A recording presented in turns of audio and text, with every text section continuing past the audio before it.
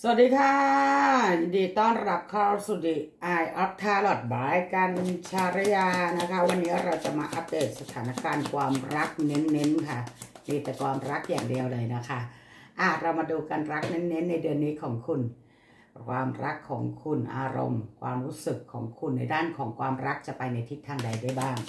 นะจ๊ะในเดือนสิงหาหนึ่งอ่าไม่ใช่หนึ่งถึงสิบหกในเดือนสิงหานี้นะจ๊ะมากันที่ธาตุ น้ำกรกฎมีนพฤศจิกค่ะ เน้นหนักเรื่องความรักอารมณ์ความรู้สึกจ้ะโอเคไหมอะน้ำจ๋าขอดูพลังงานในเดือนนี้ของคุณหน่อย โอ้กำลังหลีกนี้หนีอะไรอยู่จ๊ะวิ่งหนีอะไร วิ่งหนีใจตัวเองหนีพ้นหรือยังความมันเหนื่อยเหรอช่วงนี้ อารมณ์งานเยอะงานหนักงานเหนื่อย ความรู้สึกที่วางลงไปไม่ได้ บางคนอาจจะไปอยู่ในรักซ้อน หรือบางคนอาจจะวาดหวังในความรักความสัมพันธ์มากเกินไปนะจ๊ะ อืม โอ้ มีเดอะซัน อะ รอการกลับมาของใครบางคนอยู่เปล่าคะ คุณรออะไรอยู่บางคนกำลังรอ อะ ไพ่ของคุณนะคะ ไพ่ ไพ่ของคุณ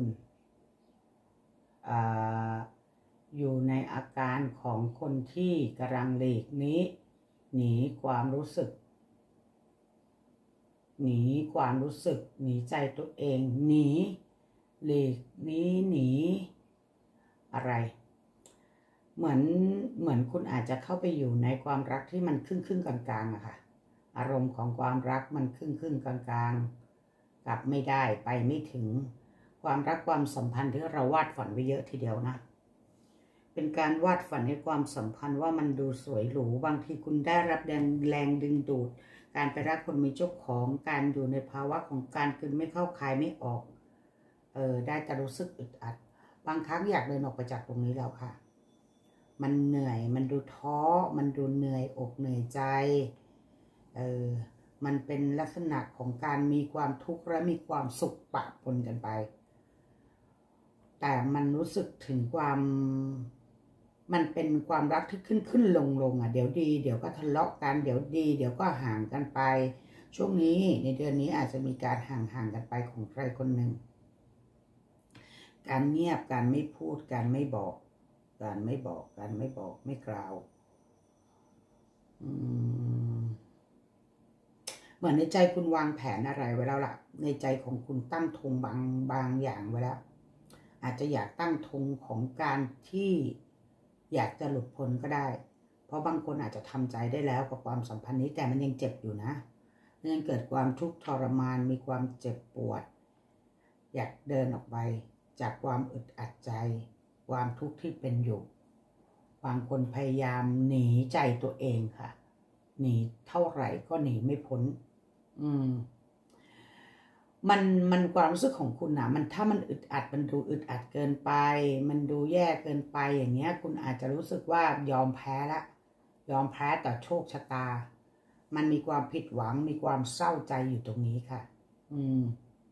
มันอาจจะมองว่าถึงเวลาแล้วไหมที่มันจะต้องเดินออกไปจากความสัมพันธ์นี้สักที สิ่งที่ไม่ดี สิ่งที่เป็นความหลัง อืม หรือบางคนอาจจะขอเวลาก็ได้ ขอลาความเป็นส่วนตัวพักกันซะก่อน ไม่อยากคุยไม่อยากพูดห่างกันสักพักหนึ่ง หรือบางคนมีความรักที่ห่างไกลกันด้วย ไกลจากคนที่ตัวเองรักไม่ได้ติดต่อไม่ได้สื่อสารกันในลักษณะแบบนั้นนะคะ บางทีคุณอาจจะสามารถทำใจปล่อยวางได้ในบางครั้ง อืม แต่ว่าบางครั้งก็ปล่อยวางไม่ได้ มันเจอสถานการณ์ที่ย้อนแย้งกับตัวคุณเองค่ะ ยังยังรออยู่นะ รอให้การกลับมาเพื่อปรับความเข้าใจ แต่การรอนั้นเหมือนกับหมดอะไรแต่อยากไปด้วยว่ารอแล้วมันไม่ได้อะไร หรือจริง ๆ การรอนี้กลับมา ก็จะต้องเกิดการทะเลาะหรือเกิดความขัดแย้งกันอยู่ดีนะ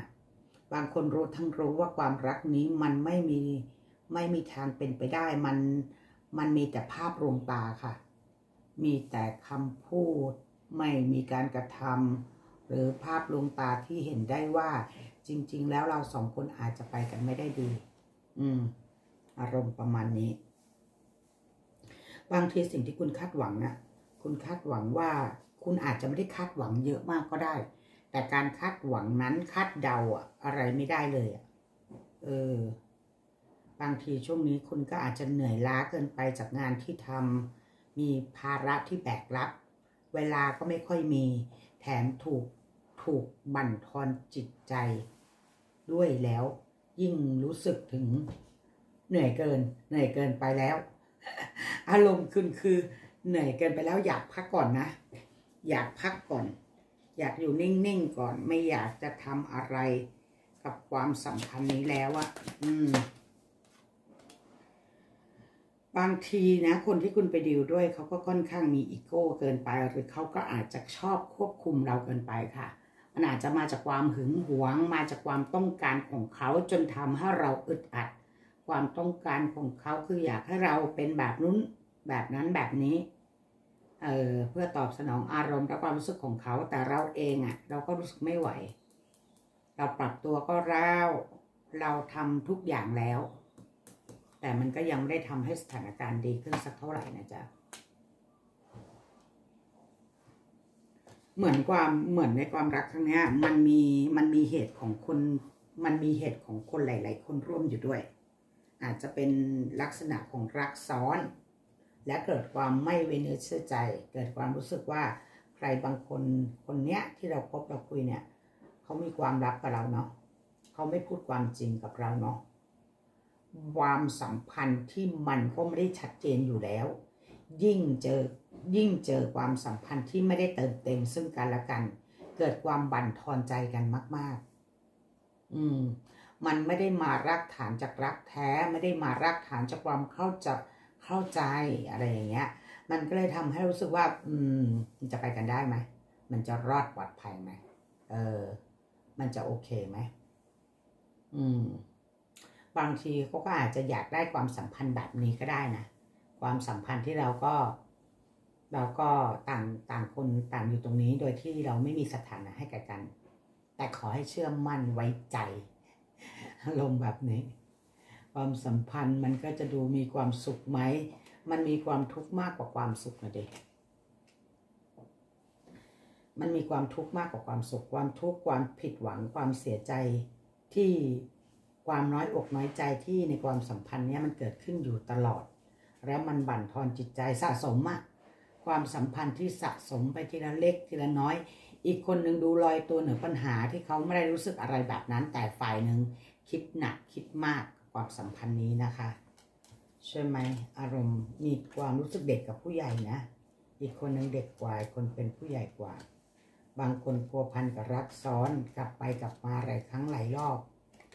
บางคนก็รู้สึกถึงความไม่เป็นธรรมกับความสัมพันธ์นี้เลย ต่อให้จะพยายามต่อให้จะพยายามแค่ไหนฝ่ายก็ไม่เข้าใจเราอยู่ดีเออต่อให้คุณพยายามเขาพยายามมันมีอีกฝ่ายหนึ่งรู้สึกน้อยใจเป็นอย่างมากอะ่ะ มีความน้อยอกน้อยใจ เขารักเราหรือเปล่า เขาทำเพื่อเราหรือเปล่าเออมันมีเหตุผลในการในความรักครั้งนี้เหตุผลมันมีเยอะ อืม บางทีก็ มีความขัดแย้งในใจอะ ความขัดแย้งในใจที่มันไม่อาจลบเดือนอะ อืม ถึงถึงจะพินิจพิเคราะห์ในความสัมพันธ์ครั้งแล้วครั้งเล่าคิดแล้วคิดอีก มีเหตุมีผลก็เราก็ไม่มีความสุขอยู่ดี บางทีคุณอาจจะต้องใช้เหตุและผลในการตัดสินใจ ความถูกต้องในการตัดสินใจ ต้องดูว่าจะสามารถปรับใจ ปรับความสัมพันธ์ได้ไหม บางคนก็หึงมากเกินไปโดยที่ไม่มีเหตุและผลเลยเออมันเลยทำให้ความสัมพันธ์นี้สะดุดไม่ราบรื่นไม่ราบเรียบมองถึงความมองหลักหลักของความสัมพันธ์เนี้ยมองหลักของความสัมพันธ์เนี้ย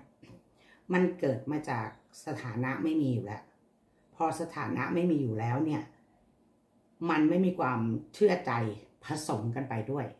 เพราะความเชื่อ สถานะไม่มีความเชื่อใจไม่มี มันเลยเป็นเรื่องราวของไรแหงกินแหนงแข่งใจกันอยู่ตลอดเวลานะในเดือนนี้ก็ยังเป็นการที่จะต้องปรับอารมณ์ ปรับความรู้สึกปรับใจ